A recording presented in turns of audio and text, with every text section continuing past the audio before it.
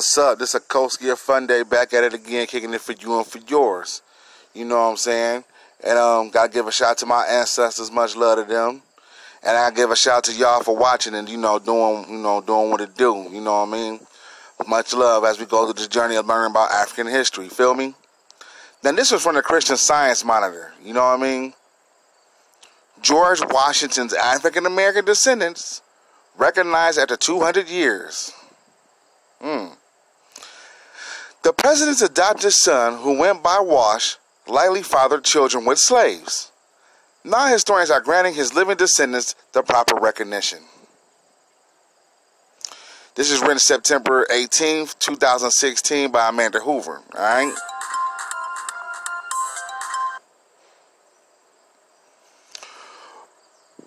Rumors that have surrounded George Washington family tree for more than 200 years have been confirmed.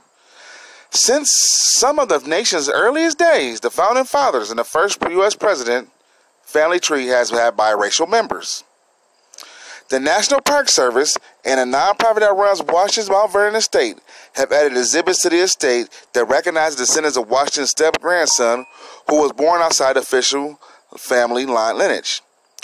While no DNA evidence has been used to back up the claims, historians say the rumor has long lived in the shadow of classic perceptions of the first family, and now they have evidence that's sufficient to make the call.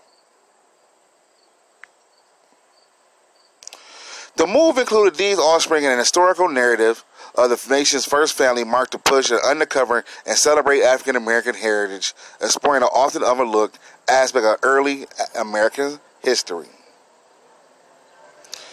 There is no more pushing this history to the side. Matthew Penrod, the National Park Service Rangers and program manager at the Arlington House, the former house of Robert E. Lee, told the Associated Press.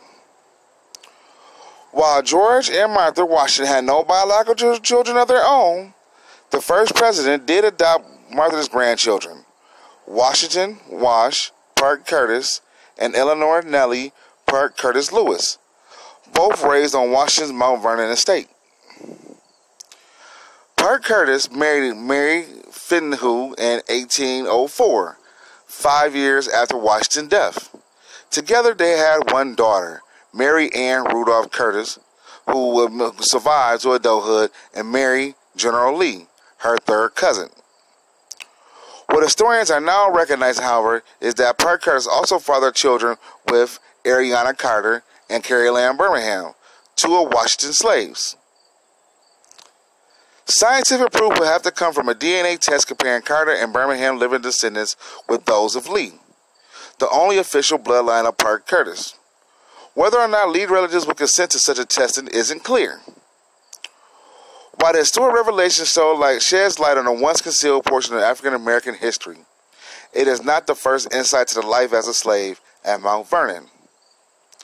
Just as American perception of African American history has shifted, Washington's own feelings of slavery altered during his lifetime, leading with conflicting feelings about the institution. At age 11, Washington inherited over 10 slaves and 280 acres of land. Over the next few decades, he would purchase additional 100 additional slaves.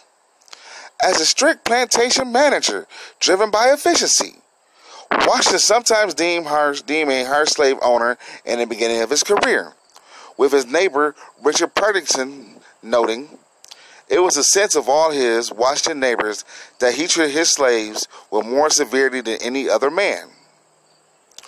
But others later wrote that Washington treated his slaves with more humanity than any other owners did, and later began to sympathize with those living on his plantation. Hmm. The unfortunate condition of the person whose labor and part I employ has been the only unavoidable subject of regret, he wrote later in life. To make adults among them as easy as comfortable in their circumstances as their actual state of ignorance and improvidence would admit.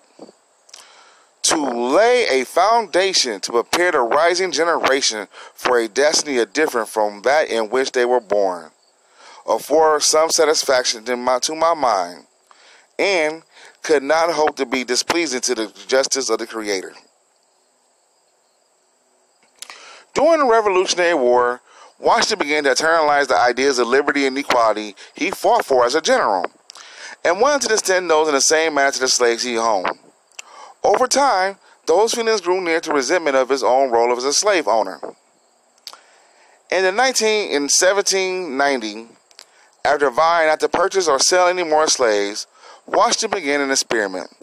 He would seek English or Scottish farmers to rent out farm space on his plantation, hoping the tenants might hire slaves as laborers rather than bringing their own workers from Europe.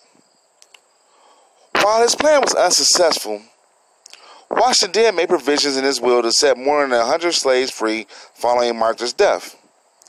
Nearly 200 remain on Mount Vernon under the ownership of Parke Custis and his sister. By recognizing more of Washington's ancestors and their history, historians hope to dismantle the antiquated views on the family and race relations at the plantation, creating more of an accurate and an exhibit an inclusive exhibit.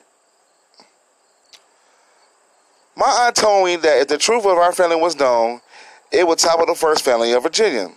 ZSun-nee Miller-Matema, Edison of Parke Custis and Branham told the Associate Press. We are all so much part of each other. It makes no more sense to have it be a house divided. And there you have it. It talks about George Washington and you know the things he was doing and stuff like that. You know what I mean? And George Washington, you know what I'm saying? They don't preach about how they don't talk about how George Washington died. Many people don't talk about that. You know, yes, they say he died from pneumonia and he bled out how they was doing the surgical, the white man surgical procedures of the day was. But the real truth was George Washington caught pneumonia for going down his slave road and raping a young black girl. That's how he caught pneumonia. Because he let a young, fresh, and green. You know what I'm saying? Now, the, also, too, the stuff about George Washington not having a biological child, I heard is pretty much nonsense. You know what I'm saying? Um, Carter G. Woodson, in one of his books confirmed this, he writes about this, about how George Washington had a son, a, a, a biological, a black grandson, excuse me, a black son, one of his slaves and whatnot. So, all this stuff is coming about, you know what I'm saying?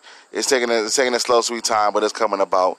But as he said before, he was a harsh, cold taskmaster. He, he treated black people with no love. Like he, this thing you heard about his teeth, the story about how, you know, his teeth was pulled from other slaves' mouths. That's the stuff he wanted. That's the stuff he got for his teeth. You know what I'm saying? So you had to be pretty old for that to happen.